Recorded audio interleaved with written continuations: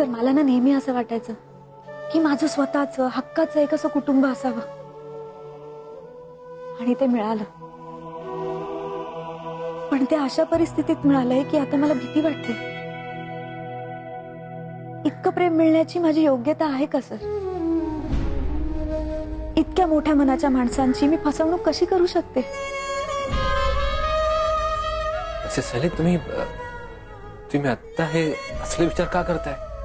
असे विचार येणारच ना. या राखीची जबाबदारी खूप मोठी आहे सर. कुठल्याही घरात घडत नाही ते आज आपल्या घरात घडलंय. पूर्ण आजींनी मला या घराचा रक्षण करता म्हणून राखी बांधली.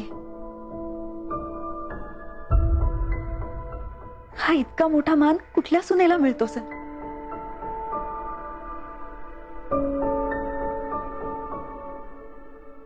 या या राखीची बाजारातली किंमत काय असेल हो? पन्नास शंभर रुपये? त्या विकणाऱ्यालाही हे माहीत नसेल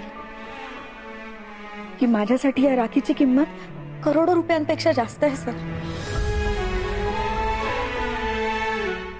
आणि आता तीच भीती वाटतीये की मला या जबाबदारीचं वजन पेलवेल की नाही?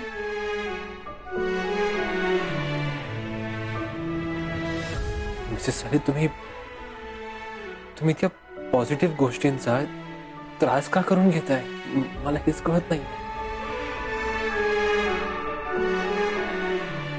कारण माझ्या मनावर माझ्या प्रेमाचं ओझ आहे. ही नाती खऱ्या अर्थाने तेव्हाच माझी होतील जेव्हा तुम्ही माझे व्हाल. मी तुम्हाला माझ्या मनातलं सांगून टाकू का सर? सांगा ना मिसेस हा सांगा ना. नाही नाही काही नाही.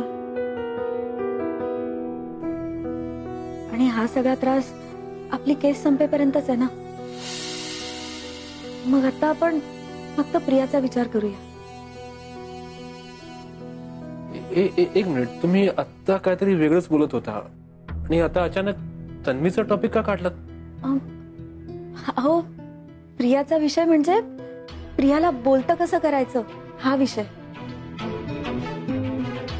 आणि मी प्रियाचा विषय नाही काढलाय. मी आपल्या केसचा विषय काढलाय.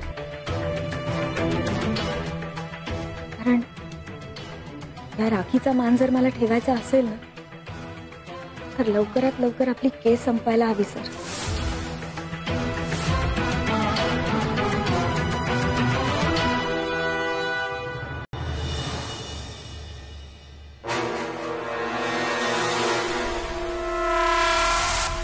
आई.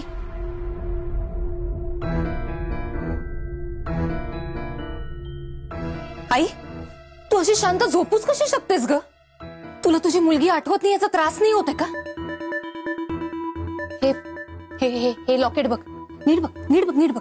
हे बघ आठवते लहान असताना मी रोज हे गळ्यात घालून फिरायचे. सांग ना आठवते का आठवते ना? अगं काय अशी बघतच बसणार आहेस का?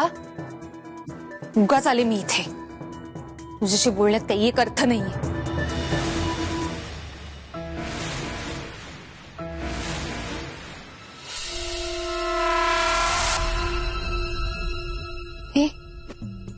हे तू तुला तुला आपला ऍक्सिडेंट आठवतोय?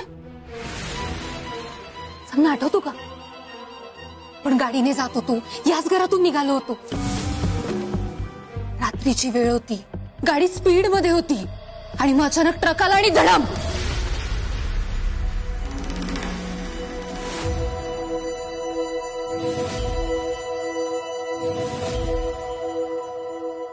आपली गाडी दरीत कोसळली. मी जेमतेम कसे तरी वाचले आणि आणि तू वीस वर्ष गायब होतीस. वीस वर्षांनी परत आलीस तू तू? तू इतकी वर्ष कुठे होतीस? हा?